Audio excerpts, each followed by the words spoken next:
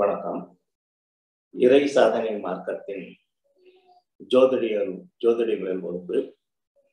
கடந்த பத்து வாரங்களாக நடந்து வந்தது.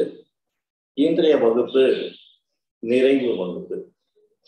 இந்த வகுப்பு நடத்துவதற்கு ஏற்பாடு செய்த இறை சாதனை மார்க்க பேராசிரியர் திரு நன்மணி ஐயா அவர்களுக்கும் உதவி செய்யக்கூடிய மதன்குமார் ஐயா அவர்களுக்கும் முதற்கண் நன்றியையும் வாழ்த்துக்களையும் தெரிவித்துக் கொள்கிறேன்.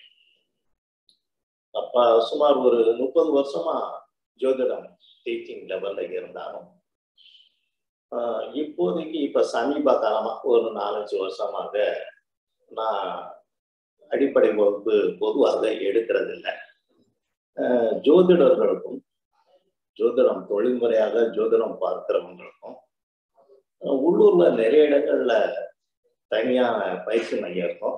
அந்த மாதிரியான பயிற்சி மைய ஜோதிட ஆசிரியர்களுக்கு வகுப்பு எடுக்கக்கூடிய அட்வான்ஸ் லெவல் வகுப்பு எடுக்கக்கூடிய லெவல் தான் கடந்த நாலஞ்சு வருஷமா நடந்துகிட்டு இருக்கு. இந்த சந்தர்ப்பத்துல அடிப்படை விஷயம் நான் ஞாபகப்படுத்திக் கொள்ளும் வகையில் ஐயா வாய்ப்பு வழங்கியிருப்பதற்கு மிகவும் மகிழ்ச்சி அடைகிறேன். இதுல ஒவ்வொரு வாரமும் சுமார் ஏறத்தாழ ஒரு மணி நேரம் வகுப்பு நடந்திருக்கும். நம்ம முதவே சொன்ன போல ஜோதிடம்ன்றது மிகப்பெரிய கடல். இந்த கடல்ல ஒரு சிறு துளி அளவுல தான் நாம சாப்பிட்ருப்போம் இந்த வகுப்பு முழுக்க பாத்தீங்கன்னா நீங்க கவனிச்சு ஃபாலோ பண்ற பல அன்பர்கள் பார்த்தீங்கன்னாக்க ஒரு செகண்ட் கூட வெட்டி கதையோ வீண் கதையோ நம்ம வகுப்புல பேசியிருக்க மாட்டோம். முழுக்க முழுக்க சப்ஜெக்ட் தான் பேசியிருக்கோம். அது தவிர்த்து அந்தந்த வகுப்புல நடந்த சந்தேகங்களை நிவர்த்தி பண்ணியிருக்கோம். நேரம் வீண் விரயமாக்காம நம்மால எந்த அளவுக்கு போக முடியுமோ அடிப்படை லெவல்ல அதாவது பேசிக்கலாக ஜோதிடமே தெரியாத அன்பர்களுக்கு எந்த அளவுக்கு நாம போயிருப்போமோ அந்த லெவல் வர நாம போயிருக்கோம் அப்படின்றது எனக்கு ஏற்படக்கூடிய மிகப்பெரிய சந்தோஷம். இன்றைய வகுப்பு இறுதி வகுப்பு. கடந்த வகுப்புல பன்னிரண்டு பாவங்களுக்கு பலன் எப்படி ஹேண்டில் பண்ணணும் அப்படின்ற விஷயத்த நம்ம பார்த்தோம். கொஞ்சம் வேகமாகவே பார்த்தோம். இது ஜனன ஜாதகத்துல இருந்த கிரகங்களின் நிலை அடிப்படையாக கொண்டு அந்த ஜாதகத்துக்கு தசாபுத்தி நிர்ணயிக்கிற விதம். மற்றபடி உங்களுக்கு அடிப்படையில இருந்து இது வரைக்கும் ஏற்படக்கூடிய சந்தேகங்களை நிவர்த்தி பண்ற விதமாக இந்த வகுப்பு அமையும் நண்பர்களே. அதனால நம்ம பொறுத்த வரைக்கும் டீட்டெயிலா பார்த்துப்போம்.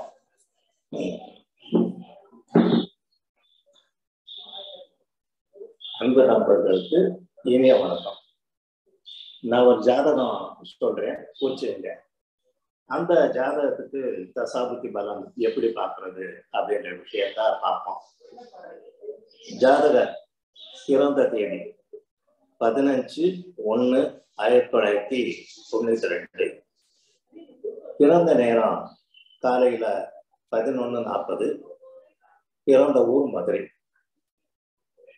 இதை அடிப்படையை வச்சு ஜாதகம் கழிச்சா லக்கினம் மீனம். இரண்டாம் இடத்துல சந்திரன் அதாவது மீனம் மேஷத்தில் சந்திரன். மிதுனத்தில் கேது சிம்மத்தில் குரு விருச்சிகத்தில் சுக்கிரன் தனுசில் செவ்வாய் புதன் ராகு. மகரத்தில் சூரியன் சனி. இந்த ஜாதகர் பிறக்கிறப்ப சூரிய திசைக்கு அஞ்சு வருஷம் ஒன்பது மாசம் அஞ்சு நாள். இப்ப இந்த ஜாதகருக்கு ராகு திசையில புதன் புத்தி ரெண்டு பத்து ரெண்டாயிரத்தி இருபத்தி ரெண்டுல ஆரம்பிச்சது இதுல புதன் அத்தரம் ரெண்டு பத்து ரெண்டாயிரத்தி இருபத்தி ரெண்டுல இருந்து பதினொன்று ரெண்டு ரெண்டாயிரத்தி இருபத்தி மூணு வரை ராகு திசையில புதன் புத்தியில புதன் அந்தரம் நடக்குது.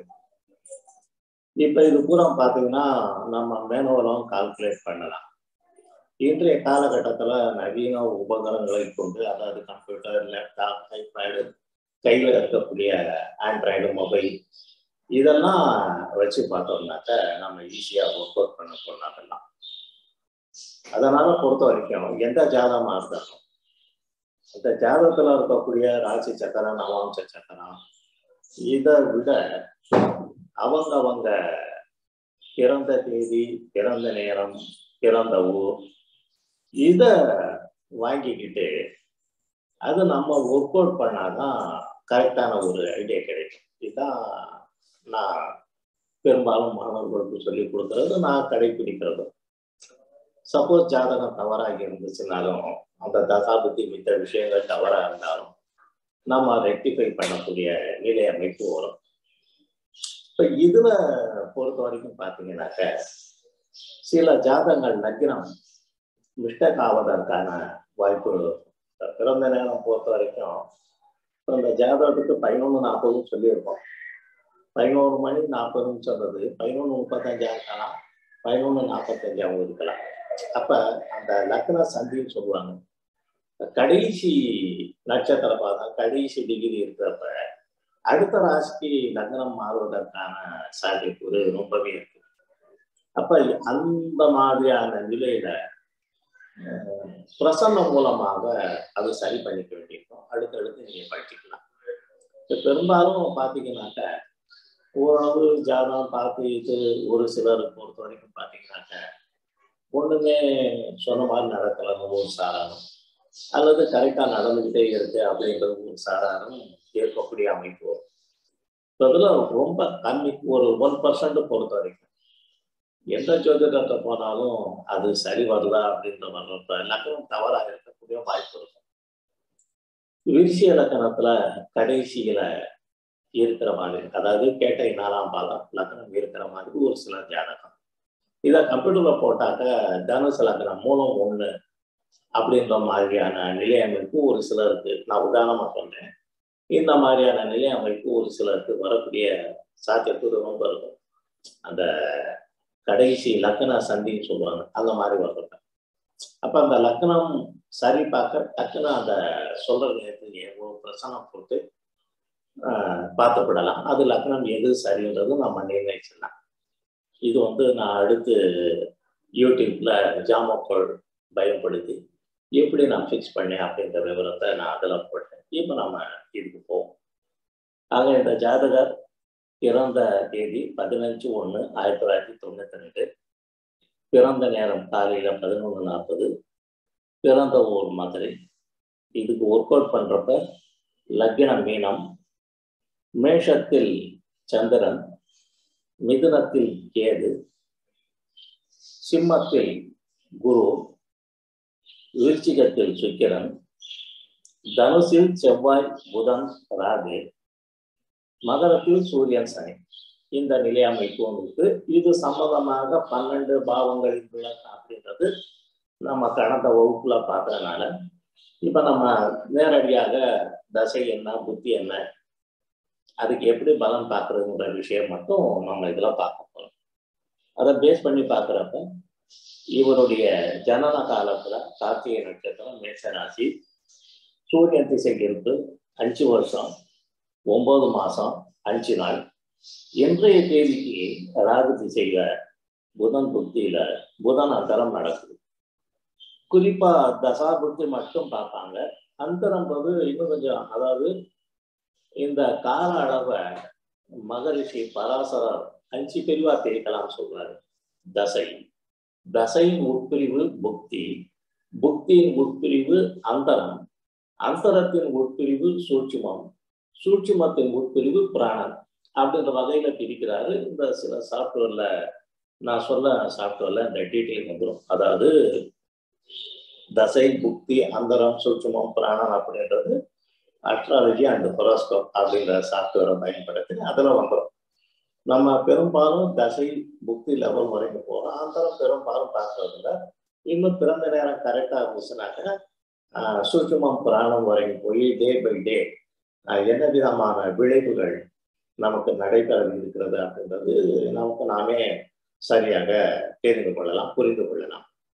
இப்போ இதன் அடிப்படையில் இந்த ஜாதருக்கு ராகு திசையில் புதன் புத்தி நடந்துகிட்டு இருக்கு அப்படின்னு சொல்லி பார்த்தோம்.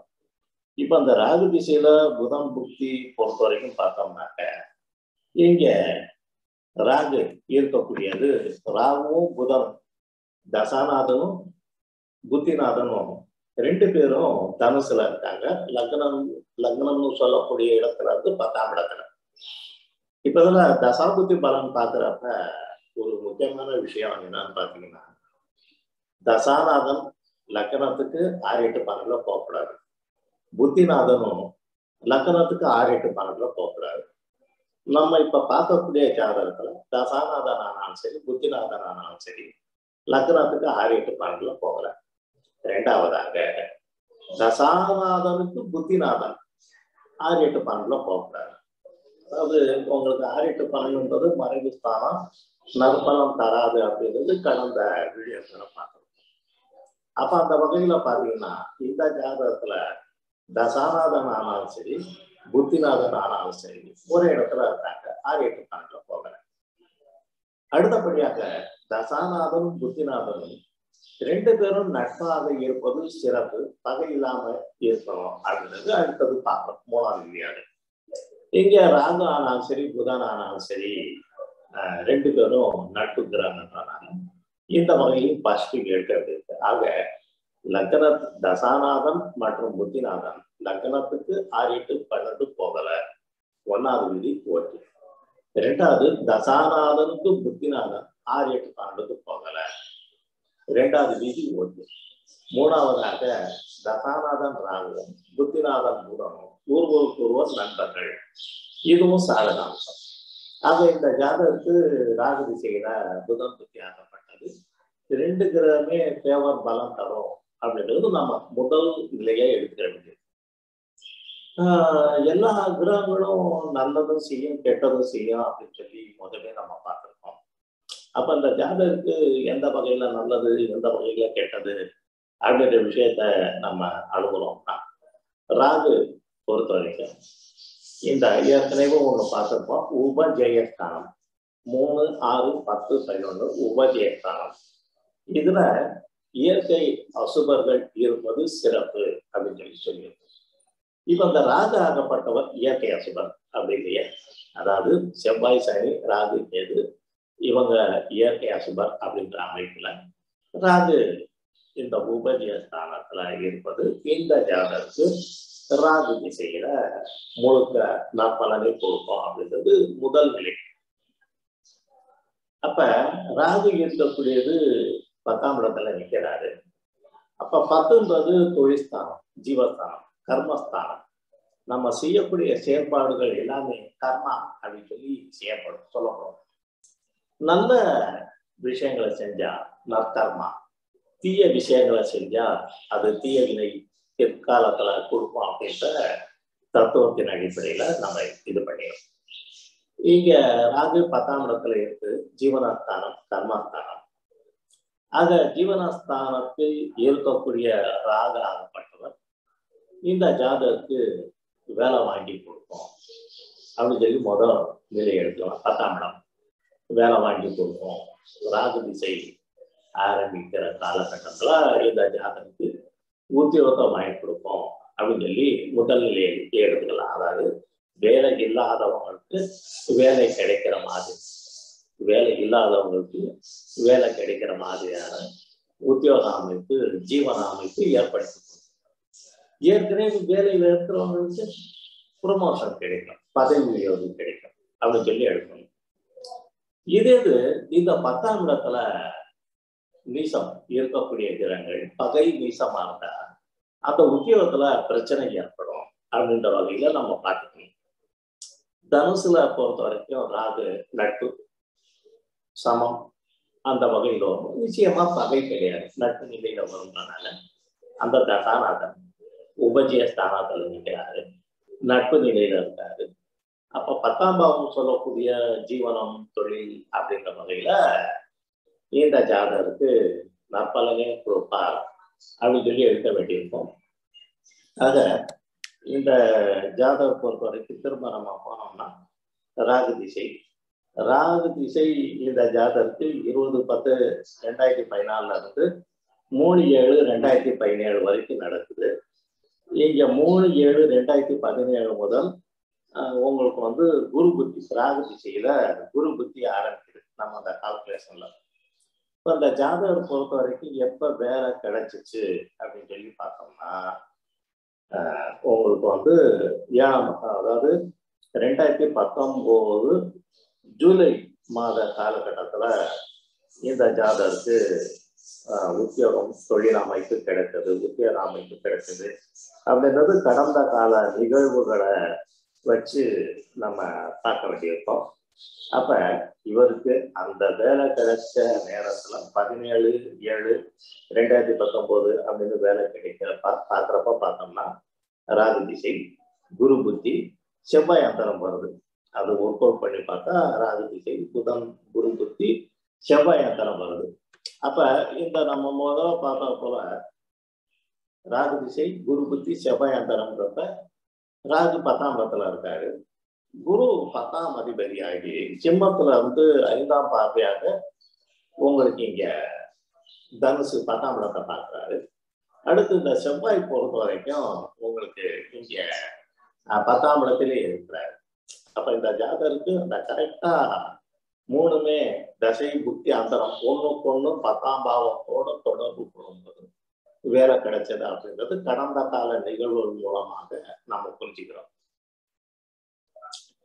நண்பர்களே இதுல இந்த தசாபுத்தி பலன்கள்ல ஒரு விஷயத்த நம்ம பார்க்க வேண்டும் அதாவது டைமிங் ஆஃப் ஈவெண்ட் கால கணிதம்.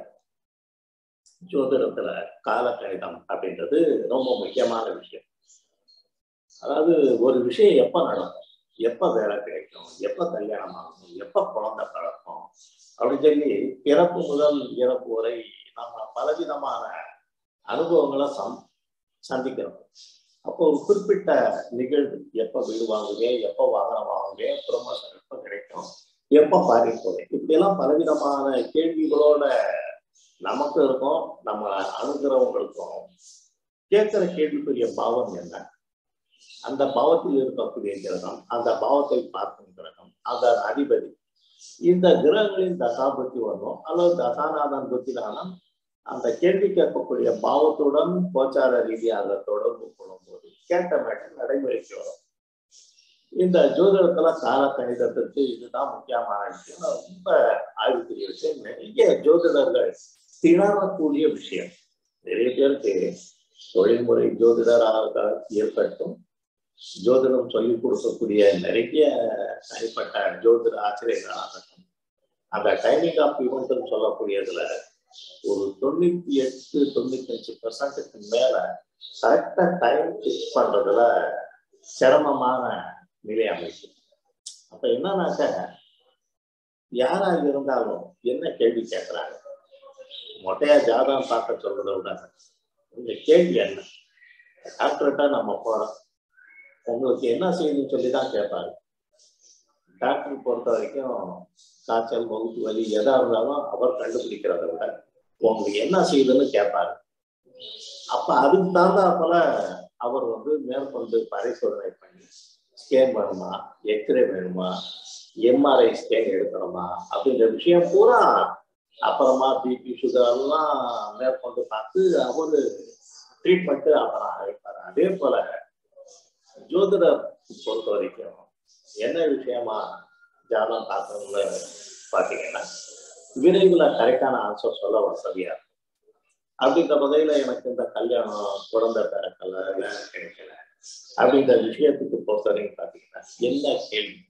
அதற்குரிய பாவம் என்ன? அதற்குரிய காரகத்தை அவங்க இப்ப தசாபுத்தி என்ன? அது கேட்கிற கேள்விக்கு சப்போர்ட் ஆகுதா? அப்படின்ற விஷயத்துக்கு அனலைஸ் பண்ணி பார்த்தா அந்த ஜோதிடத்துல கால கணிதம்னு சொல்லக்கூடிய அந்த டைமிங் ஆஃப் ஈவெண்ட்ன்றது கரெக்டா பிடிச்சு விடலாம் சரிதான நண்பர்களே இது போல ஃபாலோ பண்ணணும் இப்ப நம்ம இந்த ஜாதகத்தை பார்த்தோம்னாக்க நடப்பு ராகு திசை புதன் புத்தி ராகு பொறுத்த வரைக்கும் பத்தாம் இடத்துல இருக்காரு. வேலை வாங்கி கொடுத்துட்டாரு.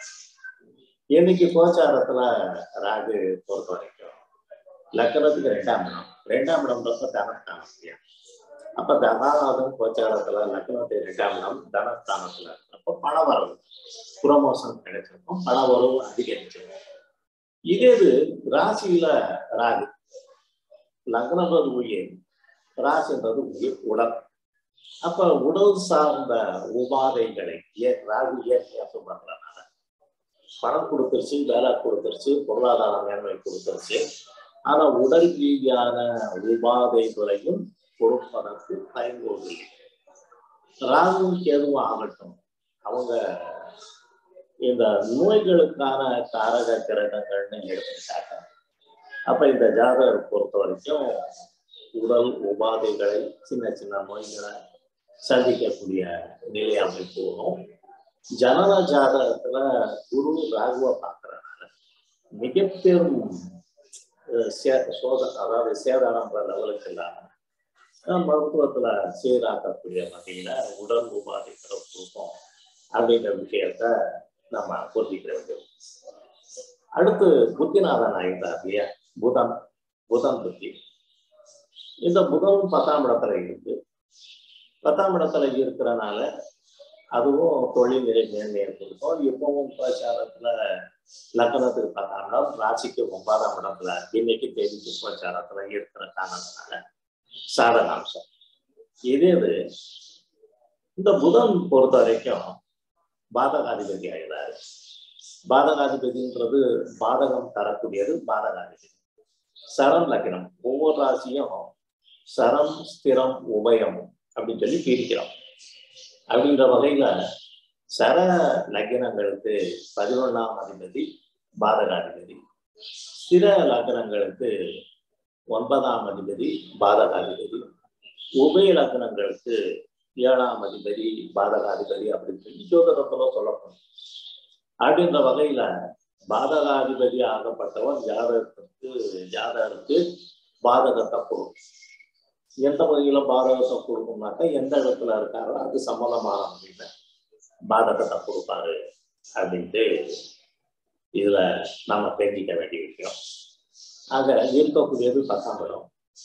பத்தாம் இடம் போது தொழில் தான் அப்ப ப்ரொமோஷன் கிடைக்குது வேலை வாய்ப்பு கிடைக்குது. ஆனா உயர் அதிகாரிகளால் ஒரு அழுத்தம் மன அழுத்தம். புதன் புத்திக்கு காரணங்க.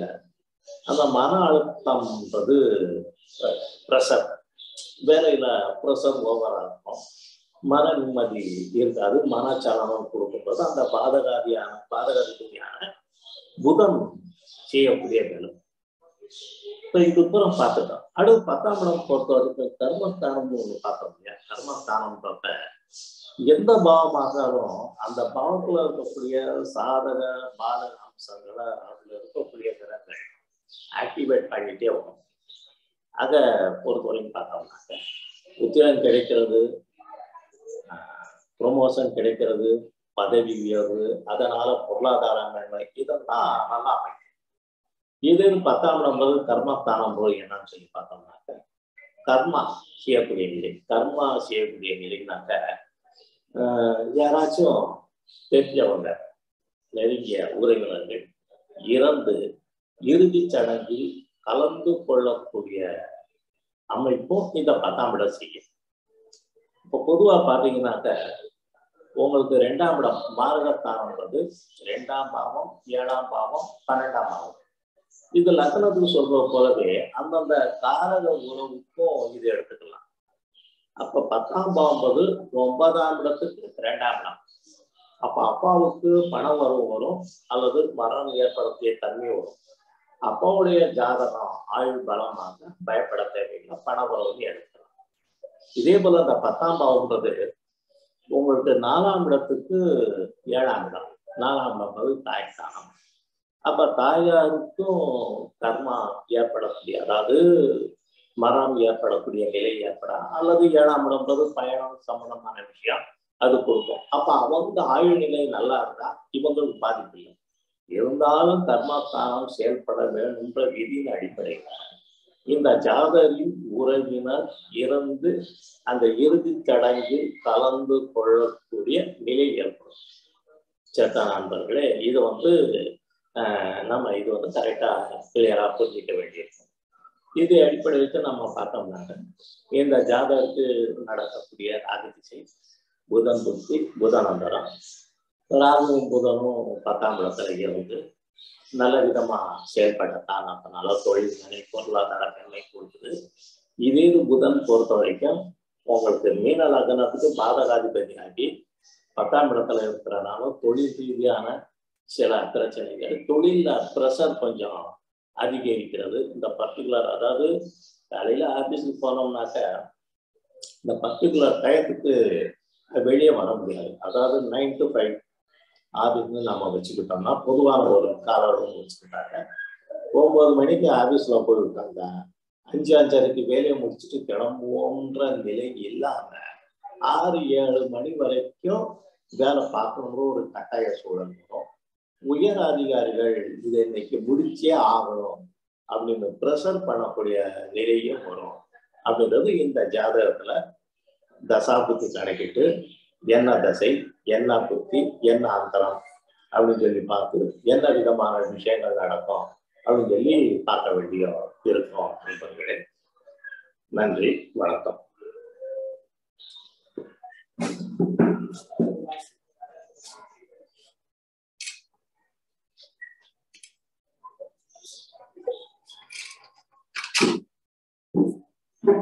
இன்றைய இன்னைக்கு பார்க்க வேண்டிய பாடத்தை கிட்டத்தட்ட பார்த்துட்டோம். இன்றைய பாடத்துல இருந்தும். ஆரம்பத்துல இருந்து சந்தேகம் கேட்கிற மாதிரி இருந்தா அதையும் கேட்கலாம்.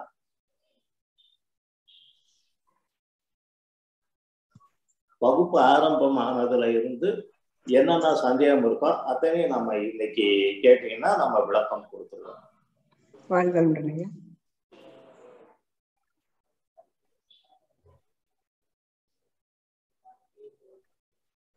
வளமுடன் ஐயா சுரேஷ் பாலாஜி ஐயா அவர்கள் கேள்விங்க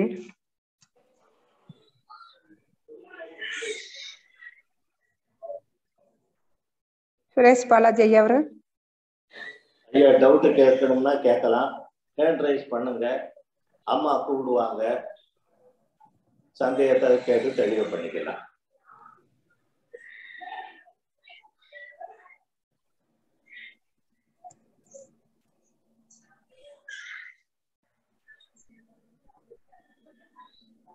சுப்பிரமணியன் ஐயா அவர்கள் வாழ்க வளமுடன் கேளுங்க ஐயா. ஆ, யாரும் டவுட் கேட்கலீங்களா? வாழ்க வளமுடன் ஐயா. ஐயா கேளுங்க. ஐயா சிறலக்னாதிபதி ஒன்பதாம் சிலலக்னத்திற்கு ஒன்பதாதிபதி பாதகாதிபதி சொல்றாங்க. ஆமா. நம்ம சிம்ம ராசிக்கு செவ்வாய் பாதகாதி பாதகாதிபதி ஆகிறாரு. ம். ஆனா சிம்ம ராசிக்கு நாலுக்கு ஒன்பதுக்கு அதிபதியாகி இப்ப யோகாதிபதியாகவும் அவரே இருக்காரு. கரெக்ட். இப்ப நீங்க கேட்க கேட்கிற கேள்விக்கு நான் வந்துடுறேன் அதாவது ஜோதிட நூல்கள்ல சொல்லப்படுற கருத்து என்னன்னாக்க சர லக்னத்துக்கு பதினொன்றாம் அதிபதி ஸ்திர லக்னத்துக்கு ஒன்பதாம் அதிபதி உபய லக்னத்துக்கு ஏழாம் அதிபதி சரிங்க நீங்க கேட்கிற மாதிரி கடக லக்னத்துக்கு செவ்வாய் அஞ்சுக்கும் பத்துக்கும் உரிய அதிபதி.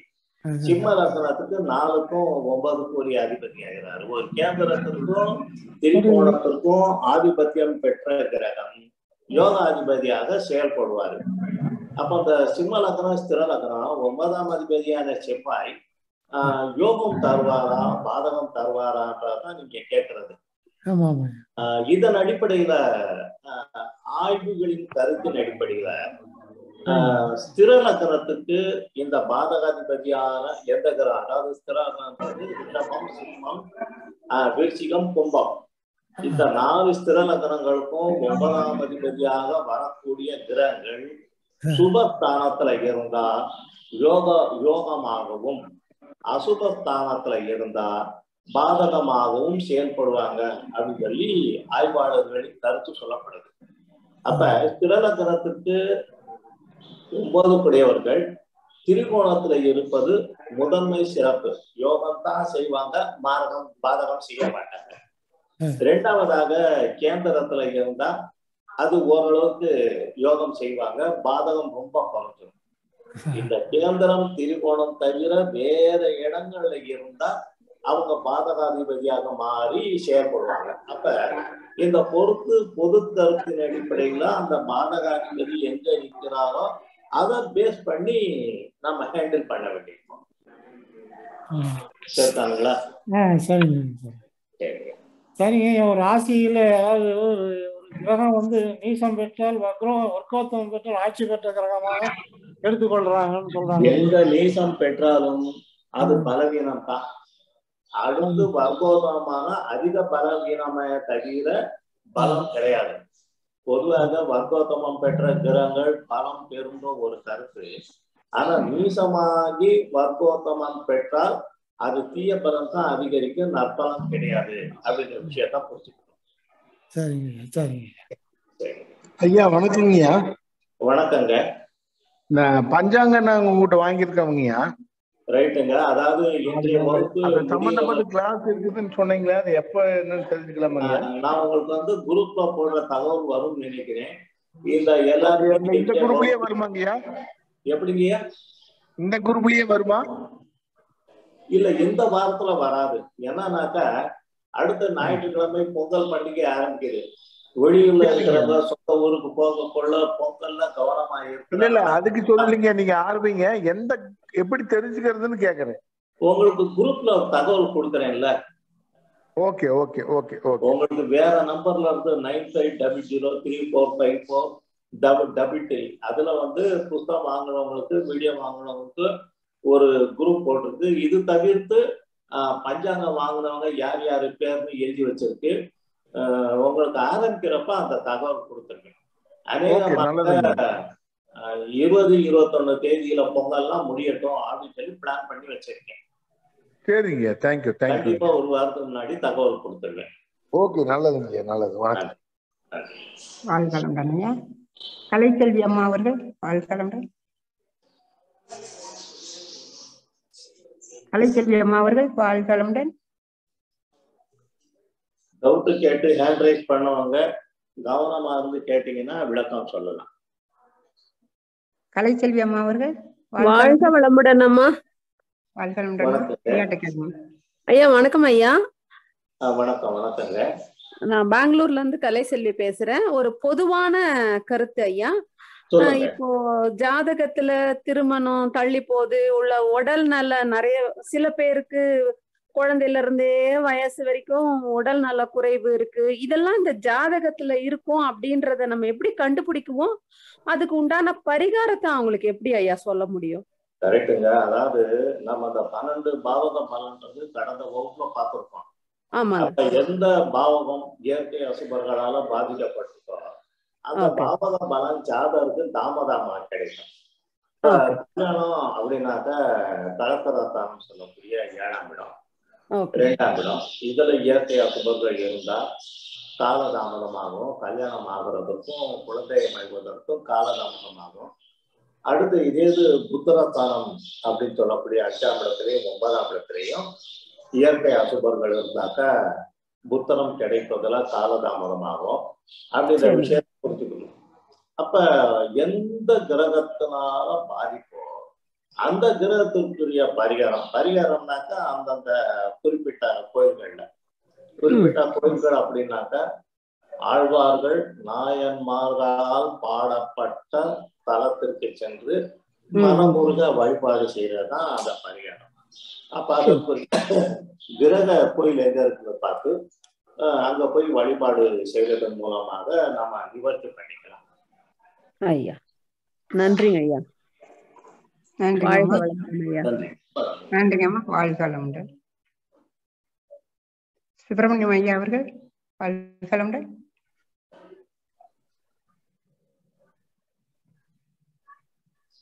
சுப்பிரமணியம் ஐயா வாழ்கலம்டன் வணக்கங்க. நோட் பண்ணிக்கிறேன். ஐயா அவருக்கு அதாவது கேந்திராதிபத்திய தோஷம் ஆண்களுக்கு மட்டும்தான் உண்டுன்னு சில பேர் சொல்றாங்க. பெண்களுக்கு கிடையாது. இல்லைங்க இல்லைங்க. சில பேர் சொல்றதெல்லாம் கிடையாது. மூலமுகங்கள கேந்திராபத்திய தோஷம் ஆண் பெண்ற பாகுபாடே கிடையாது. சொல்லப்பட்ட விதிகள் எல்லாமே ஆண்களுக்கும் பெண்களுக்கும் பொருந்தும். ஒரே ஒரு டிஃபரெண்ட் என்னன்னாக்கா இந்த. விருச்சிகம் ராசி சொல்றோம் இல்லையா? விருச்சிகம்ன்றது மேஷத்துல இருந்து காலப்புருஷ லக்னமான மேஷத்துல இருந்து எட்டாம் இடம். இது வந்து கர்ப்பப்பை ஸ்தானம் சொல்லி சொல்லப்படும்.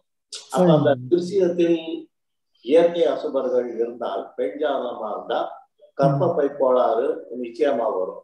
ஆண்களாக இருந்தா சிறுநீரக பிரச்சனை யூரினல் ப்ராப்ளம் வரும் அப்படின்றது நம்ம அந்த இடத்துல தான் கர்ப்பப்பை அல்லது சிறுநீரக பிரச்சனை ஆண் பெண் பாகுபாடு பிரிக்கப்படுது. ஒன்று ரெண்டு விஷயத்துக்கு மட்டும். கர்ப்பப்பை ஆண்களுக்கு கிடையாது பெண்களுக்கு மட்டும்தான் இருக்கிற அடிப்படையில. இந்த கர்ப்பப்பையில நீர் கட்டி அப்படின்றது பெண்களுக்கு போகும் ஒரு சில விஷயத்துக்கு தான் ஆண் பெண் பாகுபாடுன்றது ஜோதிடத்துல சொல்ல வேண்டியிருக்கும். மற்றபடி எந்த ஜாதகமா இருந்தாலும் உங்களுக்கு ஆண் பெண் பாகுபாடுன்ற மேட்டரே கிடையாது. எல்லாருக்குமே இது பொருந்தும். சரிங்க. கேந்திராதிபத்தியத்துல வந்து இப்போ மிதன லக்கணத்திற்கு வந்து குருவும் மீன லக்கணத்திற்கு புதன் சொல்லப்படுகிறது ஐயா. அந்த லக்கணத்திலே அந்த கிரகம் இருந்தாலும் தோஷம் உண்டாயா கண்டிப்பா உண்டு. தோ கேந்திராதிபத்திய தோஷம் போது உண்டு. ஏழு பத்து கொடையராக இருக்கிறனால கடத்தா வகைகளையும் தொழில வகைகளையும் பிரச்சனை ஏற்படக்கூடிய நிலை அமைப்பு உண்டு. நான் திரும்பவும் சொல்றேன். அந்த கிரக தசாபுத்தி வந்தாதான் சரி சரி இல்லாட்டி கிடையாது. இப்ப நம்ம பார்த்த இன்றைய வகுப்புல பார்த்ததுல இந்த ராகு திசை புதன் புத்தியில தான் அந்த கேந்திராதிபத்தியா வேலை செய்யும். ஆரம்பத்துல இருந்தே புதன் பாதகாதிபதி கெட்ட பலன்ற நிலைக்கு வரக்கூடியது இந்த ம், ஜாதகர் பிறந்தது சூரிய திசையில. சரி. சூரிய திசையில புதன் புத்தி வர்றப்ப அடுத்து சந்திர திசையில புதன் புத்தி வர்றப்ப செவ்வாய் திசையில புதன் புத்தி வர்றப்ப இப்போ வந்து ராகு திசையில புதன் புத்தி. அடுத்து குரு திசையில புதன் புத்தி. அந்தந்த கிரக காலகட்டங்கள்ல தான் அந்த தீய நிகழ்வுகளோ நல்ல நிகழ்வுகளோ எதிர்பார்க்க முடியுமே தவிர பிறந்ததுல இருந்து கெட்டதை நினைச்சுக்கிட்டே இருக்கக்கூடாதுன்றதான் நம்ம கருத்து. இந்த புத்தியில மட்டும்தான் வரும் அல்ல தசையில வரும்? பாதகாதிபதினா அந்த கிரகத்தின் தசை அல்லது புத்தி அல்லது அந்தரம் சூட்சமம் பிராணன்னு வரணும் அப்பதான் செயல்படும். இப்போ ஒரு விஷயத்த மனசுல வாங்கிக்கிட்டீங்கன்னா கரெக்டா இருக்கும். இப்ப நம்ம ஸ்கூல்ல படிச்சிருப்போம். ஸ்கூல்ல படிக்கிறப்ப பாத்தீங்கன்னா Tamil period English science maths history social science இந்த மாதிரியான ஒரு ஏழு எட்டு பீரியட் நம்ம ஸ்கூல்ல படிச்சிருப்போம் இல்லையா? அப்ப தமிழ் ஆசிரியர் தமிழ் ஐயா பொறுத்த வரைக்கும் தமிழ் வகுப்புல தான் வருவாரே தவிர காலையில அதாவது அவருக்கு மத்தியானம் ரெண்டு மணிக்கு தமிழ் வகுப்புனா அந்த ரெண்டு மணிக்கு தான் கிளாஸ் ரூம்ல தமிழ் ஐயா நுழைவாரு. எல்லாருமே தெரிஞ்சது தானே இது? அதே போல நல்லதானாலும் கெட்டதானாலும் அந்த கிரகத்தின் தசாபுத்தி வந்தாதான் செயல்பாட்டு போறோம். அது வரைக்கும் அது சும்மாவே அந்த நற்பலனோ கெட்ட பலனோ தன்னுடைய காலகட்டத்துலதான் அது செயல்பாட்டுக்கு கொடுக்கும். அப்ப அந்த அதனாலதான் நான் இந்த சனி பயிற்சின்னு சொல்லி பூதாகரமாக எழுவத எழுதுகிறத நம்பாதீங்கன்னு சொல்லி சொல்றது. அப்ப இந்த சனி பயிற்சி மகரத்துல இருந்து கும்பத்துக்கு போகுது அப்படின்னா. அந்த சனி திசையோ சனி புத்தியோ நடப்புல இருக்கிறவங்க தான் யோசிக்கணும். யோசிச்சு அது கும்பமாகப்பட்டது ஆறு எட்டு பன்னெண்டு ஸ்தானமாக இருந்தாதான் பயப்பட வேண்டியிருக்கும்.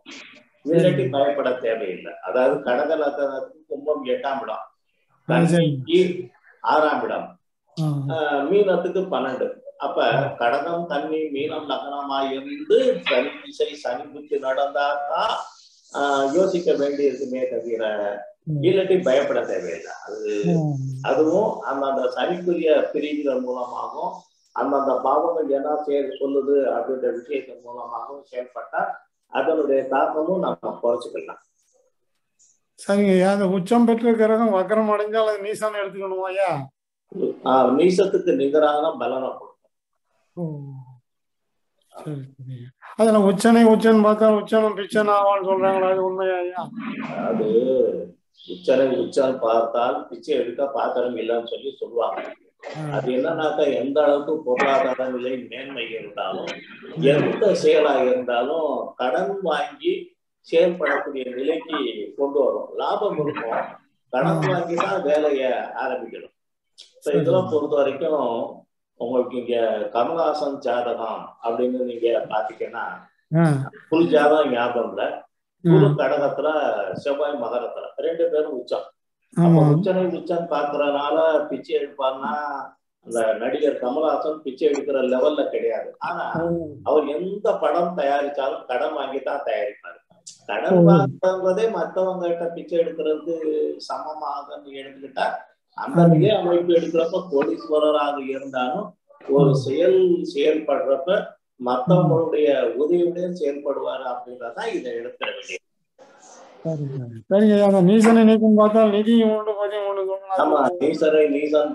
நிலையில்லாத ராஜயோகம். ராஜயோகம் இருக்கும்.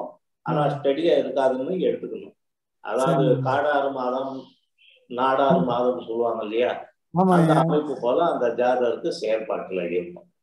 சரிங்க. சரி அது ஆண்களுக்கு வாழ்க்கை துணையை குறிப்பவர் சுக்கரன் சொல்றாங்க பெண்களுக்கு குரு என்று சொல்றாங்க. இது எப்படி ஐயா? இல்ல இல்ல எல்லாத்துக்கும் பராசர முறைதான் வாழ்க்கை துணை சுத்தரம் தான். சுக்கரன் தானே ஐயா? சரி. அந்த சனி செவ்வாய் வந்து சண்டை மாறது யோகம்னு சொல்றாங்கல்ல சண்டை மாறது யோகம்னு சொல்றாங்க அது என்ன வாழ்க்கையில பிரச்சனை கொடுக்கும். அந்த அந்த பிரச்சனைக்குரிய பரிகார முறைகளை மேற்கொண்டா எல்லாருமே நிம்மதியா இருக்கலாம். பிரச்சனைன்றது பரிகாரம்ன்றது நம்ம திரும்ப சொல்லி அதிக அளவுல பணம் செலவழிக்கிறது கிடையாது. உரிய கோயில்களுக்கு போய் நம்ம பிரார்த்தனை மனமுருக பிரார்த்தனை பண்ணிக்கிறது தான் நம்ம அதை சொல்ல வேண்டியிருக்கும் அந்த கன்னி லக்கணத்திற்கு குருவும் சனியும் ஒன்னா அந்த கன்னியிலே இருந்தா அதாவது சுக்கிரன் நீசபங்கம்னு சொல்ல முடியுமாயா எந்த லக்னமா இருந்தாலும் குருவும் சனியும் சேர்ந்து இருந்தா அந்த ஜாதகர் தான் ஈடுபட்ட துறையில புகழ் பெறுவார். அதுல எந்த விதமான மாற்றமும் கிடையாது. குரு சனி சேர்க்கை பெற்ற ஜாதகருக்கு. அது நல்ல பலம் தான் கொடுக்கும். கெட்டது கிடையாது. அப்போ அந்த கன்னியில குரு சுக்கிரன் இருந்தா சுக்கிரன் நீசபங்கம் உடையவராக இருப்பாரையா பார்க்க தேவையில்ல. ஜாதகருக்கு நற்பலன் கிடைக்கும். அது ஆறு எட்டு பன்னெண்டு இல்லாம இருந்தா போதும். சரி சரி ம். சரிங்க ஐயா ரொம்ப நன்றி ஐயா நன்றி நன்றி நன்றிங்க ஐயா வாழ்க வளமுடன் வணக்கம் one two zero two Jayanthi அம்மா அவர்கள் வாழ்க வளமுடன். ஐயா ஐயா உங்க வகுப்புகள்லாம் அற்புதமா இருந்ததுங்க ஐயா ரொம்ப நன்றிங்க ஐயா இதை. ஏற்பாடு செய்த இறை சாதனை மன்றத்துக்கு ரொம்ப நன்றிங்க ஐயா. ஐயா எனக்கு பொதுவான கேள்விங்க ஐயா இப்ப ஒரு திருமணத்திற்கு ஆண் பெண்ணுனா பெண் ராசியில இருந்தோ ஆண் ராசியில இருந்தோ எட்டாம் இடம் ஆறாம் இடம் அப்படி கல்யாணம் பண்ணக்கூடாது அப்படிங்கிறாங்களா ஐயா? அது என்னன்னாக்கா தோஷம் சொல்லுவாங்க? திரும்பவும் சொல்றேன். இந்த நட்சத்திரத்தை அடிப்படை வச்சு பொருத்தம் பார்க்கறத காட்டியும் ரெண்டு பேர் ஜாதகத்தை வச்சு பொருத்தம் பார்த்தா தான் சிறப்பா இருக்கும். அதை. அடிப்படை வச்சு பார்க்கணும். அப்ப அந்த ஆடியட்டா அமைப்பா இருந்தாலும் அறுபத்தி நாலாம் பாகம். அப்படின்ற நிலை இல்லாம இருந்தா போதும் கல்யாணம் முடிச்சு விடலாம் ஒண்ணும் பிரச்சனை கிடையாது. ஜாதக எப்படிங்க அமைப்பு ஐயா நல்லா அறுபத்தி நாலு என்னங்க ஐயா என்னங்க ஐயா விளங்கல ஐயா ஜாதக அமைப்பு நல்லா இருந்தா போதும். இது. பார்க்க தேவையில்லை. ஓகேங்க ஐயா இப்ப ஒரு உதாரணத்துக்கு பெண்ணுடைய நட்சத்திரத்துல இருந்து ஆண் நட்சத்திரம் அறுபத்தி நாலாம் பாதமாக இருக்கக்கூடாது. ஆண். நட்சத்திரத்துல இருந்து பெண்ணுடைய நட்சத்திரம் அறுபத்தி நாலாம் பாதமாக இருக்கக்கூடாது. இது. ரெண்டு தவிர்த்து ரெண்டு பேர் ஜாதகமும் நல்லா இருக்கு அப்படின்னாக்க எந்த விதமான இந்த பத்து பொருத்தம் சொல்லக்கூடிய நிலை அமைப்பு இல்லாம கல்யாணத்தை பண்ணிடலாம். எந்த விதமான தவறும் கிடையாது. ஓ சரிங்க. ரொம்ப நன்றிங்கய்யா ஒரு பெரிய டவுட்டுங்கய்யா இது ரொம்ப நாளாவே. அப்புறம் ஒரு உதாரணத்துக்கு சொல்றேங்கய்யா இப்ப சிம்ம ராசியில இருந்து மகர ராசி வந்து ஆறாம் இடம் வருதுங்கய்யா மகரத்துல இருந்து சிம்மம் பார்த்தா எட்டாம் இடம் வருது. அப்ப பண்ணலாங்களாயா அதாவது அந்த நட்சத்திர பாதம்னு இருக்குல்ல. சிம்மத்துல சிம்மத்துல உத்தரத்துவ மகரத்துல அவிட்டம் அவிட்டங்கய்யா உத்தரம் எத்தனை? உத்திரம் வந்து கடைசி பாதம். பாதம். அவிட்டம் எத்தனை? ஆஹ் அவிட்டம் வந்து மகரத்துல முதல் பாதம்னு நினைக்கிறேங்கய்யா. சரி ஒண்ணாம் பாதம் ரெண்டாம் பாதம் வரும். அதாவது ஒண்ணாம் பாதமா இருந்தா அவிட்டம் ரெண்டாம் பாதத்துல இருந்து உத்தரம் ஒண்ணாம் பாதம் அறுபத்தி ஒண்ணாம் பாதமா வரும். அப்ப அவிட்டம் ரெண்டு உத்தரம் ஒண்ணுன்னா அவாய்ட் பண்றது நல்லது. ஓ அவிட்டம் ரெண்டு உத்தரம் ஒன்னான் தான் ஆமா அப்படி இருந்தா. ஓ சரிங்க. ஓகேங்க. ரொம்ப நன்றிங்கய்யா. ரொம்ப ரொம்ப நாளா உள்ள டவுட்டுங்கய்யா இது. அப்புறம் இன்னொரு விஷயங்கய்யா. இப்ப நம்ம தனதர்ஷன பூஜை பண்றோம் இல்லையா? அதுக்கு. குரு ஹோரை சுக்கிர ஹோரையில பண்ணா ரொம்ப நல்லதுங்குவாங்க. குரு ஹோரை வந்து இப்ப பொதுவா ஒரு எக்ஸாம்பிளுக்கு டியூஸ்டேல மூணு டு நாலு வருதுங்கய்யா. அந்த டைம் பார்த்தா. ராகு ராகு காலம் வருது. செவ்வாய்க்கிழமை பன்னெண்டு டு ஒண்ணு தானே குரு வரும் இல்லைங்கய்யா மூணு டு மதியம் மூணு டு நாலு சுக்கிர வராது. ஹோரையா குரு செவ்வாய்க்கிழமை பன்னெண்டு டு ஒண்ணு தான் குரு ஆ ஓகேங்கய்யா பொதுவா அந்த மாதிரி ஒரு சுக்கிரனோ குரு ஹோரையோ அந்த ராகு காலம் இல்லைன்னா யமகண்டம் அந்த மாதிரி டைம்ல வந்தா அப்ப பண்ணலாங்களாயா அந்த பூஜை? அதெல்லாம் அதாவது அந்த அகால நேரம் சொல்லுவாங்க. நடுராத்திரி பன்னெண்டு மணி அகால நேரம் போல இது போல அகாலமான நேரத்துல பண்ணக்கூடாது. மத்தியானம். ஒன்றரை டு மூணு ஆஹ், இறுதிச் சடங்கு அதாவது பிரேத டைம் சொல்லி சொல்லுவாங்க. அது என்னன்னு சொல்லி பாத்தீங்கன்னாக்க அந்த வீட்டுல திதி தர்ப்பணம் இந்த மாதிரியான விஷயங்கள் சொல்றாங்க இல்லையா? அதுக்கு தான் சிறப்பு. ஹோமங்கள். பொறுத்த வரைக்கும் பகல் பத்து மணிக்குள்ள முடிச்சு போடணும் ஓ பகல்ல பத்து இல்லாட்டி சாயங்காலம் ஆறு மணிக்கு அப்புறம் ஆறு மணிக்கு அப்புறம் ஓ, ஓகேங்க ரொம்ப நன்றிங்கய்யா அப்ப நீங்க பன்னெண்டு மணிக்கு ஒரு நல்ல நேரம்னு சொன்னீங்கல்ல ஐயா பதினொன்னு ஐம்பதுல இருந்து பன்னெண்டு இருபது பதினொன்னு பன்னெண்டே காலம் வச்சுங்களேன் உச்சி அதாவது சூரியன் வர்றது பன்னெண்டு மணின்னு நம்ம வச்சுக்கிட்டோம்னா கால் மணி நேரம் முன்னாடி பின்னாடி இது வந்து எல்லா நாள்லயும் பொதுவா அர்ஜென்ட் எமர்ஜென்சி அப்படின்னாக்கா செய்யலாம். அந்தந்த காரியங்களுக்கு உரிய நேரத்தை அந்த நல்ல லக்னம் இந்த- வாரம் திதி நட்சத்திரம் இதை அனுசரிச்சு தான் செய்யணும். ஆனா கால அவகாசம் இல்ல எமர்ஜென்சியா செய்யணும் அப்படின்னு நினைச்சா அந்த பதினொன்னு முக்காட்டு பன்னெண்டுக்குள்ள பன்னெண்டு காலுக்குள்ள செய்யலாம். எமர்ஜென்சி என்றால். ஓ சரிங்க சரிங்க. அப்புறங்கய்யா ஒரு ராசி ஒரு நட்சத்திரம் முடிஞ்சு இன்னொரு நட்சத்திரம் ஆரம்பிக்கிறதுக்குள்ளார உள்ள ஒரு ஏழு நிமிஷம் அந்த சோடச நேரம்னு சொல்லுவாங்களாயா அது எனக்கு சரியா தெரியல. சோடச நேரம்ன்றது நட்சத்திரம் முடிஞ்சு கிடையாது.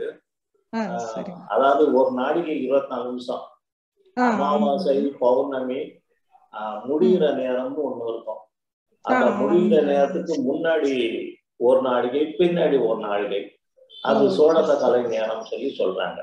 ஓகே. அப்ப வந்து நல்ல விஷயங்கள் பண்ணா சக்சஸ் ஆகுங்களாயா ஆமா ஆமா. ஆனா அமாவாசைன்றது பித்திருக்களுக்குரியது. இதுல ஒரு சில விஷயங்கள் ஜோதிடத்துல நிறைய பொருளை கலப்பிட்டு இருக்காங்க. அதனால மூல நூல் ஆதாரம் இருந்துச்சுன்னா நம்பலாம். ஆனா எந்த முகூர்த்த நூல்களையும் இது போல சோடச நேரம்ன்றது எங்கேயுமே எனக்கு தெரிஞ்சு சொல்லப்பட்ட மாதிரி தெரியல. ஓ சரிங்க. இது வந்து நீங்க சொல்றது அமாவாசை பௌர்ணமி டைம்ல மட்டும்தான் அமாவாசை பௌர்ணமி இந்த ரெண்டும் முடிகிற நேரம்னு கேலண்டர் இல்லாட்டி ஆப்ல இருக்கும். அதுக்கு இருபத்தி நாலு நிமிஷம் முன்னாடி இருபத்தி நாலு நிமிஷம் பின்னாடி. அந்த டைம்குள்ளார. சரிங்க. ரொம்ப நன்றிங்க ஐயா. அப்புறங்கய்யா நான் புக்கு இன்னும் வாங்கலையா நானும் இந்த கிளாஸ்லயே இருக்கிற இன்னொரு ஃப்ரெண்டு ரெண்டு பேருக்கும் வாங்கணுங்கய்யா இப்ப நான் வாங்கணும்னா எனக்கு என்ன அமௌண்ட்லயா கிடைக்கும்? செவன் பிப்டி செவன் ஃபிஃப்டிங்களாயா ஈச் ஈச் செவன் ஃபிஃப்டி எனக்கு கூகுள் பே பண்ணிட்டு நீங்க அட்ரஸ் அனுப்பிட்டீங்கன்னாக்க நீங்க எந்த ஊர்ல இருக்கீங்க? சென்னையில தாங்க இருக்கும். சென்னைனா உடனே அன்னைக்கே கொரியர் பண்ணிடுவோம். வெளி மாநிலம்னா ஐம்பது ரூபா சேர்த்து பே பண்ண ஓ வேண்டியிருக்கும் சரிங்கய்யா பிளஸ் ஒருத்தவங்களுக்கு எ- பஞ்சாங்கத்துக்கு ஒரு எப்படிங்க? ஆ, ஒ- ஆ, என்னங்கய்யா? பிளஸ் பஞ்சாங்கத்துக்கு ஒரு டூ ஃபிஃப்டி சேர்த்து இது பண்ணிட்டீங்கன்னா ரெண்டும் சேர்த்து வந்துடும் ஆ ஓகேங்கய்யா. இப்ப ஒருத்தவங்களுக்கு அப்ப செவன் ஃபிஃப்டி வருங்களையா புக்குக்கு புக்குக்கு மட்டும் செவன் ஓகேங்க. பிளஸ் பஞ்சாங்கம் இருந்தா தான் அடுத்து புஸ்தகத்துல ஒரு ஜாதகம் கணிக்கிறது போடுறது இது பூரா கடந்த வருஷம். பஞ்சாங்கத்தை வச்சு சொல்லியிருக்கோம். இப்ப அதை பேஸ் பண்ணி நீங்க பாத்தீங்கன்னா தான் புரிஞ்சுக்க ஆ ஓகேங்க. ஆ ரொம்ப நன்றிங்கய்யா. வாழ்க வளமுடன்யா வாழ்க வளமுடன்மா நன்றிங்கம்மா ஜெயக்குடி அம்மா அவர்கள் வாழ்க வளமுடன்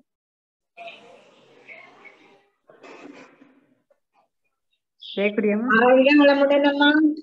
வாழ்க்கை உண்டம்மா ஐயா ஐயா வாழ்க வளமுடன் வணக்கங்க. ஐயா எல்லாம் கவனிச்சு வந்துருந்தேன். ஐயா எல்லாம் நல்லா இருக்கேன் ஐயா. என்னோட. நட்சத்திரம் சித்திரை நட்சத்திரம் ஐயா. எப்படிங்க? சித்திரை சித்திரை நட்சத்திரம். பித்திரு நட்சத்திரமா? ஆமா சித்திரை சித்திரை நட்சத்திரம்.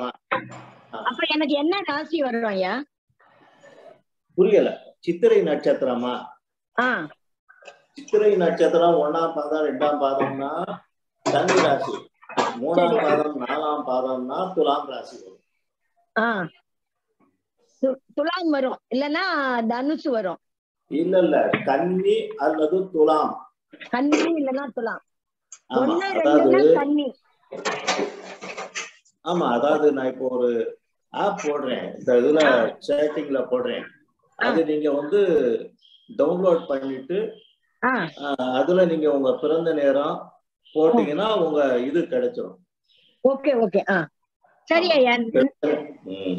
நீங்க அனுப்புங்க ஐயா நான் அதுல போட்டு விட்டுறேன். இதா போட்டுட்டேன். ஆ சரி சரி. சேட்டிங்ல போட்டிருக்கேன். அஸ்ட்ராலஜி அண்ட் ஹொரோஸ்கோப்னு. அதுல நீங்க ஃப்ரீயா டவுன்லோட் பண்ணிட்டு மெயில் ஐடி கொடுத்து ரெஜிஸ்டர் பண்ணிட்டு உங்க. பிறந்த நேரம் பிறந்த ஊர் பிறந்த தேதி போட்டா ஜாதகம் காமிச்சிடும் ஓகே ஓகே ஐயா. நன்றி ஐயா. வாழ்க வளமுடன் ஐயா. நன்றிங்கம்மா. வாழ்க வளமுடன். ஆண்ட்ராய்டு குருராய்டு அம்மா அவர்கள். வாழ்க வளமுடன். ஐயா வணக்கம். இந்த இப்போ செவ்வாய் தோசைன்னு சொல்றாங்களா ஐயா? ஜாதகத்துல எடுத்துக்கிட்டா இப்போ வந்து செவ்வாய் உச்சம் பட்டிருக்கு செவ்வாய் தோசை இருக்கு செவ்வாய் தோசை இருக்குங்களா? அது எதனாலங்கய்யா செவ்வாயோட ஆதிக்கம். செவ்வாய்ன்றது ராசிக்கு லக்னத்துக்கு சுக்கிரனுக்கு. ஒண்ணு ரெண்டு நாலு ஏழு எட்டு பன்னெண்டு செவ்வாய் தோஷம்னு சொல்லுவாங்க அதுலயும் நிறைய விதிவிலக்குகள் எல்லாம் இருக்கு. அப்ப அதன் அடிப்படையில பொறுத்த வரைக்கும் யாருக்குமே செவ்வாய் தோஷம் இல்லாத மாதிரி வரும். அஹ் லக்னம் சந்திரன் சுக்கரனுக்கு ஒண்ணு ரெண்டு நாலு ஏழு எட்டு பணத்துல செவ்வாய் இருந்தா செவ்வாய் தோஷம்னா முக்கால்வாசி பேருக்கு செவ்வாய் தோஷம் வந்துடும்.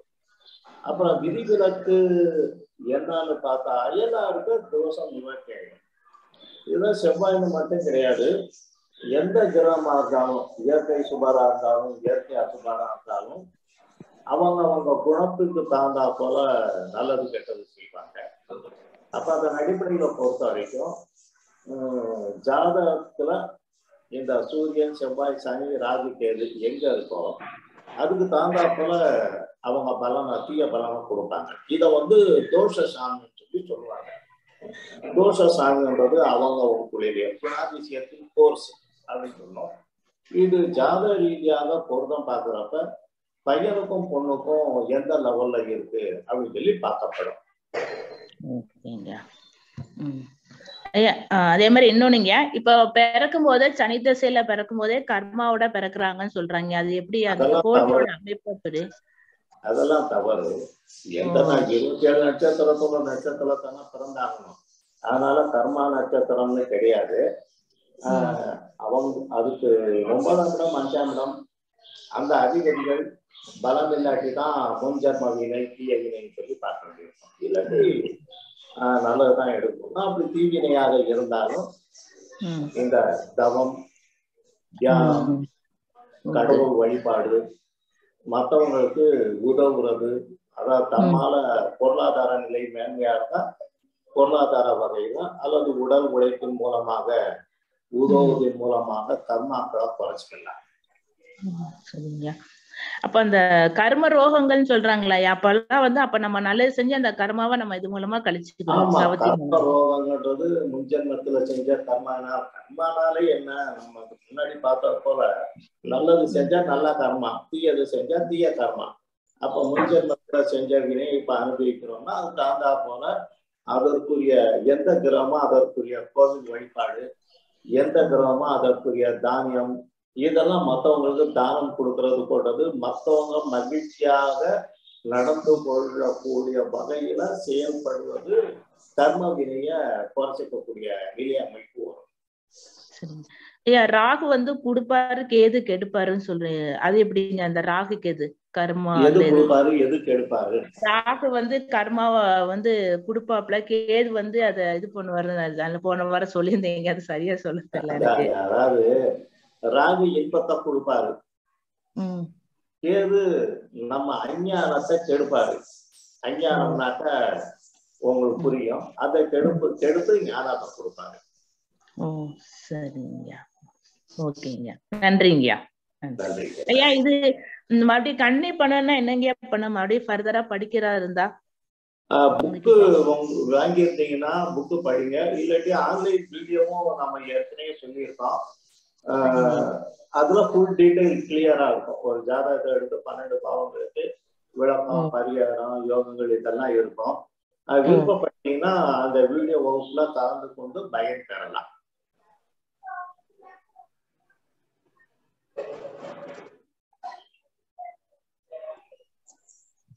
தினேஷ் நந்தினி அம்மா கேட்கலாமா?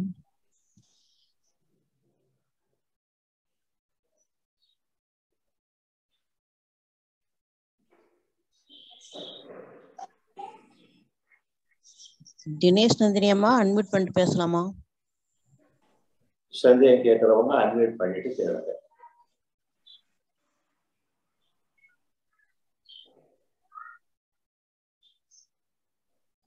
ஜெயக்குடி அம்மா கன்வெர்ட் பண்ணட்டுங்களா?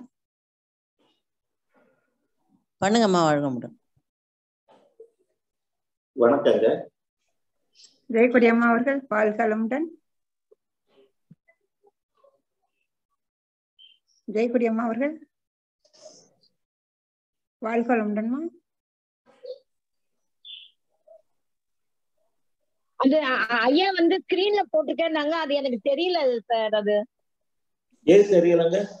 அந்த சித்திரை நட்சத்திரத்துக்கு நீங்க சொல்றேன்னீங்களே ஆ. அது போட்டிருக்கேன்னு சொன்னீங்களே எதுல பாக்கணும் சாட்டிங் சாட் சரி சரி சரி போட்டிருக்கேன். ஆ நன்றி ஐயா நன்றி ஐயா.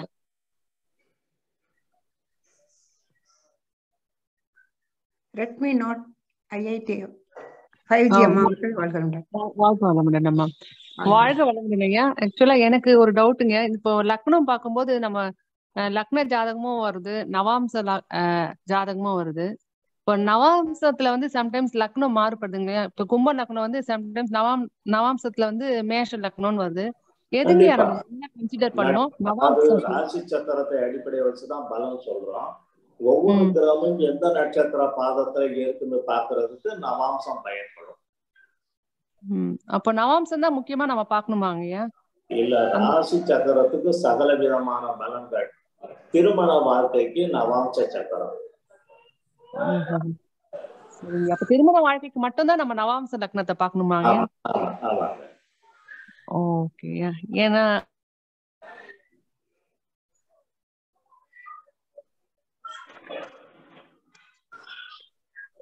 அம்மா நீங்க பேசுறது கேட்கலாமா கேட்கலங்க லட்சுமி அம்மா சுப்பிரமணிய இருக்காங்க.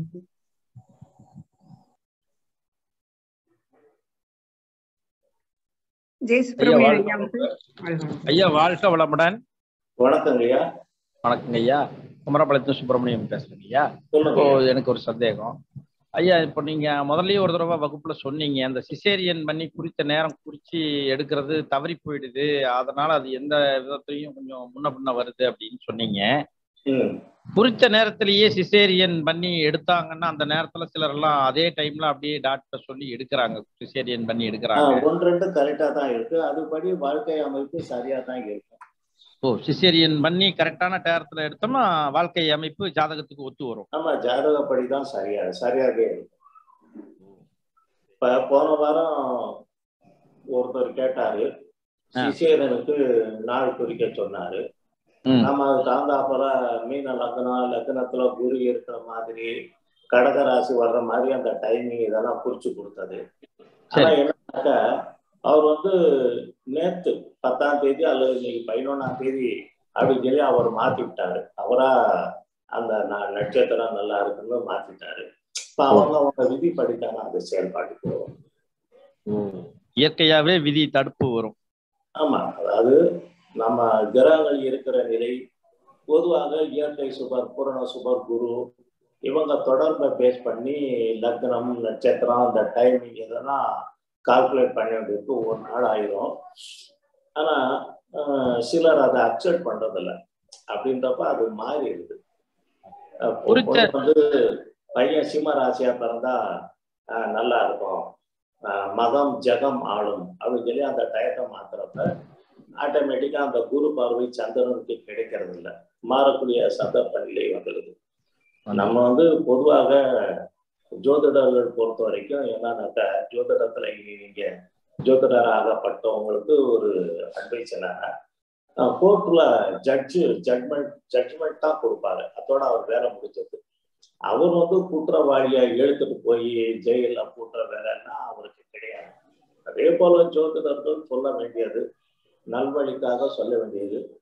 அதை கேட்டு செயல்படுறதும் செயல்படாததும் அவங்க அவங்க விருப்பம் உண்மைதாங்க ஐயா நீங்க குறிச்சு கொடுத்த நேரப்படியே ஒருத்தர் சிசேரியன் பண்ணி குழந்தை எடுக்கும் போது ஜாதக ரீதியா அது சரியா வரும்னு சொன்னீங்க. அப்ப அது இயற்கைக்கு முரண்பாடா அமையாதுங்களா ஐயா? இயற்கைக்கு முரண்பாடுனாக்க இன்னைக்கு இன்றைய கால சூழ்நிலை அதாவது என்னன்னா ஒரு எண்பது ஆயிரத்தி தொள்ளாயிரத்தி எண்பதுக்கு முன்னாடி சிசேரன் அப்படின்ற மேட் ரொம்ப குறைவு. இன்னைக்கு தேதிக்கும் துபாயில பொறுத்த வரைக்கும் சிசேரியன்ற மேட்டரே கிடையாது.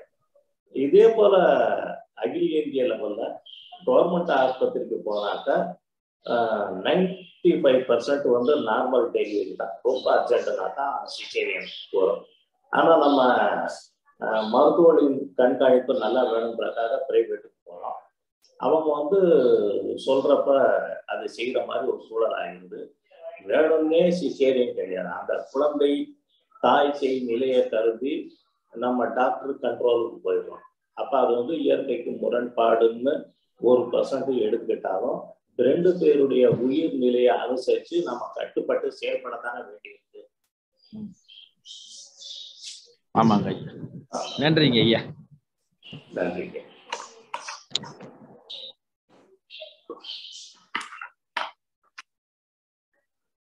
வேற எதுவும் டவுட் கேக்குறீங்களா? ரெண்டு பேர் இருக்காங்க ஐயா. எல்லாரும் கேட்டு முடிச்சுட்டாங்களா? இருக்காங்களா?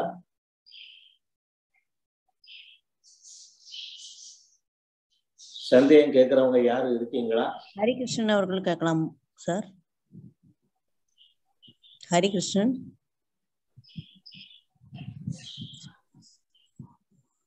வாழ்க வளமுடன் ஐயா. வாழ்க வளம் யாராச்சும் ஒருத்தவங்க பேசுங்க. ஐயா வாழ்க வளமுடன். எனக்கு எனக்கு இது வந்து புக்கு கிடைக்கணும். என்ன பண்றது ஐயா? புக்கு வந்து செவன் பிப்டி எனக்கு ஆஹ், இது பண்ணிடுங்க. கூகுள் பே பண்ணிடுங்க. புக்கு இன்னைக்கே கொரியர் ஆகிடும் ப்ளஸ் பஞ்சாங்கமும் வாங்கிக்கிட்டீங்கன்னா நல்லது. அதை தொடர்ந்து உங்களுக்கு கண்டினியூ பண்றதுக்கு வசதியா இருக்கும். அதுக்கு கொரியர் உட்பட டூ ஃபிஃப்டி ஆக மொத்தம் தௌசண்ட் எனக்கு கூகுள் பே பண்ணிட்டீங்கன்னா புக்கும் பஞ்சாங்கமும் உங்களுக்கு இன்னைக்கே கொரியர் ஆகும். ஓகேங்க ஐயா. சரிங்க ஐயா. நன்றிங்க ஐயா. வாழ்க வளமுடன்.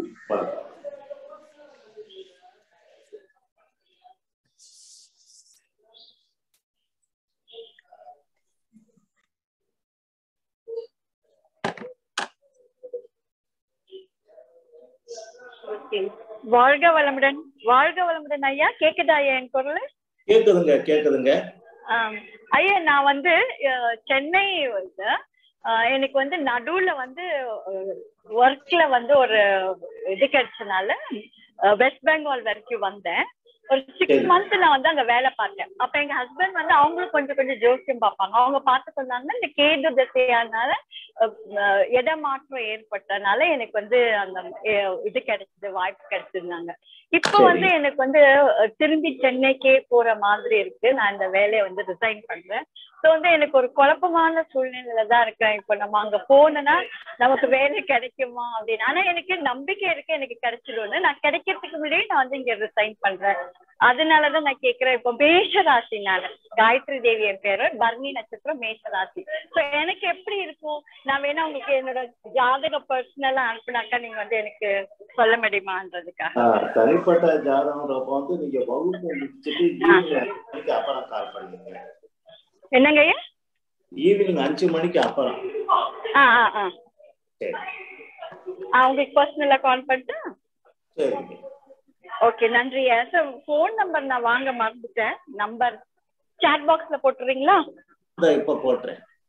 ஆ ஓகேங்க ஐயா. நன்றி சாட் பாக்ஸ்ல போட்டுட்டு நான் ஸ்க்ரீன் ஷேர் பண்ண இது ஸ்கிரீன்ஷாட் எடுத்து உங்களை கால் பண்றேன். நன்றிங்கம்மா. வாழ்க நன்றி நன்றி. போட்டுட்டேன் பாத்துங்க த்ரீ ஃபைவ் நைன் காயம்மா அவர்கள். ஐயா வாழ்க வளமுடன் ஐயா. வணக்கங்க.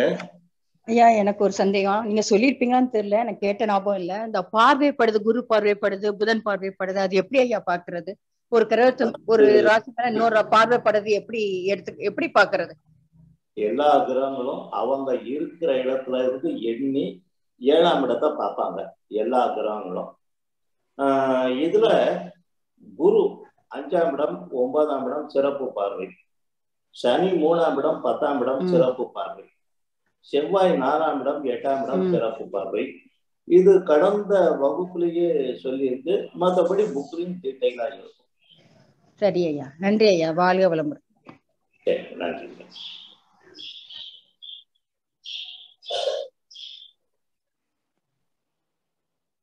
சரஸ்வதி செங்குட்டன் ஐயா அவர்கள் வாழ்க வளமுடன். வணக்கங்க. ஐயா? ஆ வணக்கம். சொல்லுங்க. என் மகளுக்கு ராசி ராசி நட்சத்திர ராசி கட்டத்துல ராகு கேது தோஷம் இல்லைங்க. அம்சத்துல ராகு கேது தோஷம் இருக்கு. இப்போ ராகு கேது தோஷம் உள்ள பையனுக்கு கொடுக்கலாங்களா? இல்லைங்க அதாவது தோஷம்னாலே மைனஸ் தான் இருக்கும் இன்னொரு மைனஸ் அப்படியே சேர்ப்பீங்க. அப்ப கொடுக்க கூடாதுங்களா அது வந்து முழுமையான ஜாதகம் பார்த்து அதை அனுசரிச்சு பார்க்க வேண்டியது. இப்ப ராகு கேது தோஷம் உள்ள கொடுக்கலாங்களா வேண்டாங்களா அதாவது நான் திரும்பவும் சொல்றேன். முழுமையான ஜாதகம் பார்க்காம நான் ஆன்சர் பண்ண மாட்டேன். ஓகே ஓகேங்க ஓகேங்க. நன்றி ஐயா.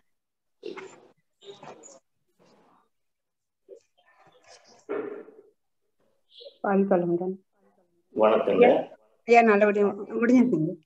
வாழ்க வளமுடன். வாழ்க வளமுடன். வணக்கம். ஐயா வாழ்க வளமுடன். ஐயா வணக்கங்க ஐயா. வாழ்க வளமுடன். அன்பர்களே நமது இறை சாதனை மார்க்கத்திலே நாம் மகர்ஷியினுடைய இந்த கர்ம வினை தத்துவத்தை செயல் விளைவு தத்துவத்தை ரொம்ப ஆழமாக நம்ம தெரிந்து கொண்டு இருக்கிறோம். க்கு இணையாக இருக்கக்கூடிய ஒரு ஞானம் ஞானம்தான் இந்த ஜோதிட ஞானம். அப்ப நாம இந்த ஜோதிட ஞானத்தில் ஒரு அடிப்படையான ஒரு விஷயங்களை தெரிந்து கொண்டால் நாம இந்த நம்மளுடைய இந்த கர்மவினை தத்துவத்தை வாழ்க்கையோடு இணைத்து பொருத்தி பார்க்க முடியும். ஒரு ஆய்வு செய்ய முடியும். அப்படிங்கிற அடிப்படையில் தான் நம்ம இந்த வகுப்பை நம்ம ஏற்பாடு பண்ணோம் இது எப்படின்னா இன்னைக்கு அதாவது பயிற்சி எடுத்துட்டு அந்த உடற்பயிற்சி தியானம் கற்றுக்கிட்டு போயிடுறவங்க நிறைய பேர் இருப்பாங்க. ஆனால் இப்பொழுது நம்ம இதுக்கு வந்தவங்க எல்லா பேருமே ஆசிரியர்களாக வர்றவங்க தான் இதுக்கு நம்ம வந்தாங்க. முதல்ல ஆர்வத்தில் நிறைய பேர் வந்தாங்க. அதுக்கப்புறம் கடைசியில் நிற்கிறவங்க ஆசிரியர்கள் மட்டும்தான் இப்போ கடைசி வரைக்கும் நின்னாங்க. அது அது தெரியும். இருந்தாலும் நம்ம வந்து பொதுவாக எல்லாரும் ஆர்வம் இருக்கிறவங்க வரட்டும்னு சொன்னோம். ஆரம்பத்தில் ஐநூறு பேர் வந்தாங்க. பட் அந்த ஆசிரியர்களுக்கு இந்த ஒரு ஞானம் கிடைக்க வேண்டும் அப்படிங்கிறதுக்காக. இது எதுக்காக அப்படின்னு சொன்னால் இப்போ இப்போ ஐயா வந்து இந்த ஜோதிடத்தை பற்றிய ஞானத்தை கொடுக்கும்போது நம்ம இந்த கர்மவினை தத்துவத்தை நம்ம நடைமுறை வாழ்க்கையில் ஆராய்ச்சியாக எடுத்து பார்க்கக்கூடிய ஒரு நிலை வரும். அது உங்களுக்கு இயல்பாக வரும். அப்ப அந்த அனுபவங்களையும் சேர்த்து நாம வந்து அடுத்தவங்க நம்ம மற்றவங்களுக்கு கிளாஸ் நடத்தும் போது கொடுக்கும்போது இந்த கர்மவனை தத்துவத்தை முழுமையாக அவங்க ஆழ்மனதில் கொண்டு சேர்க்க முடியும். அதற்காகத்தான் நம்ம இதை ஏற்பாடு பண்ணியிருந்தோம். இது இந்த பத்து வார காலமாக அதாவது இந்த பேசிக் அந்த ஜோதிட ஞானம் அதை மிகவும் தெளிவாக விஞ்ஞான ரீதியாகவும் அது மட்டுமல்ல இன்றைக்கு ஜோதிடத்தில் நிறைய பேர் ஒவ்வொன்றும் ஒவ்வொரு சொல்றாங்க. இருந்தாலும் அதற்கெல்லாம் ஒரு தெளிவு கிடைக்கக்கூடிய அளவுல ஐயாவினுடைய கிளாஸ் இருந்தது. அதில் அதுல எல்லாமே வந்து ஒவ்வொன்றுக்கும் விளக்கம் கொடுத்த அடிப்படை முதற்கொண்டு அவருடைய இந்த ஜோதிட வகுப்பு எடுத்த அந்த அனுபவ ஞானம் என்பதை உணர முடிந்தது. இப்போ நான்லாம் பேசிக்காக பேசிக்காக அந்த அடிப்படை வகுப்பில் போய் நாம் ஜோதிடம் கற்றுக்கொண்டவன் அல்ல. ஆனால் ஒரு முப்பது நாற்பது வருடமாக இந்த அனுபவத்திலேயே ஜோதிடத்தை பார்த்து கொண்டிருந்த அந்த அனுபவம் இந்த கே கேள்வி ஞானம்தான். ஆனால் இப்போ இந்த இந்த பேசிக் அடிப்படை தத்துவத்தில் அந்த ஒவ்வொன்றுக்கும் அவர் சொன்ன விளக்கங்கள் வந்து ரொம்ப அற்புதமாக இருந்தது. அதன் அடிப்படையிலே இந்த பத்து வாரம் நமக்கு வந்து இந்த வகுப்பை நடத்தி கொடுத்த ஜோதிடர் கே ஆர் சுப்பிரமணியம் ஐயா அவர்களுக்கு நம் அனைவரின் சார்பாகவும் நமது இறை சாதனை மார்க்கத்தின் சார்பாகவும் மிகுந்த நன்றிகளை தெரிவித்துக் கொள்கிறோம். அடுத்து இந்த ஜோதிட ரீதியாக நாம் ஏதாவது ஒரு சிறப்பு நிகழ்ச்சிக்கு பேசுவதற்கு ஒரு வாய்ப்பு கிடைக்கும் பொழுது ஐயா அவர்களை நாம அந்த வெள்ளி சனி அந்த தேதிகளிலே ஒரு சிறப்பு நிகழ்ச்சியாக ஏதாவது ஒன்றில் நம்ம அழைக்கும் போது அவர்கள் வருவார்கள் என்று அவர்களிடம் நான் ஒரு வேண்டுதலையும் வைத்துக்கொண்டு இந்த நிகழ்வை நிறைவு செய்து கொள்வோம். அடுத்த வாரத்தில் புதன்கிழமையில இப்போது நாம் இப்போ பேசிக் தெரிஞ்சுக்கிட்டோம். அடுத்த வாரத்தில் மகரிஷியினுடைய கர்மவினை தத்துவத்துக்கும் இந்த ஜோதிடத்துக்கும் அதில் என்ன மாதிரியாக இணைப்பு இருக்குது தொடர்பு இருக்குது அப்படிங்கிற மாதிரியான நம்ம தத்துவ ரீதியான ஒரு ஆராய்ச்சி வகுப்புகளுக்குள்ள நம்ம போக இருக்கிறோம். அந்த வகுப்பை நானே எடுக்க இருக்கிறேன். அதனால நாம இன்னும் வந்து நம்ம தத்துவத்தையும் ஐயா கொடுத்ததையும் இணைத்து மகரிஷி தத்துவத்தோடு இணைத்து நம்ம ஒரு ஆஹ், சிந்தனை ஆராய்ச்சிக்காக நம்ம அடுத்த வாரம் பயணிப்போம். அனைவருக்கும் நன்றி. வாழ்க வளமுடன். ரொம்ப நன்றி. வாழ்க வளமுடன். அம்மா ஒரு நிமிஷம். ஐயா. மிகவும் அருமையாக பதினோரு வார நிகழ்வுகளை மிக எங்களுக்கு எளிதாக புரிகிற மாதிரி சொல்லி கொடுத்தீங்க. அதுக்கு மிக்க நன்றி. அதற்கு ஏற்பாடு ப- செய்து கொடுத்த நண்பன் ஐயா அவர்களுக்கும் மிக்க நன்றி ஐயா.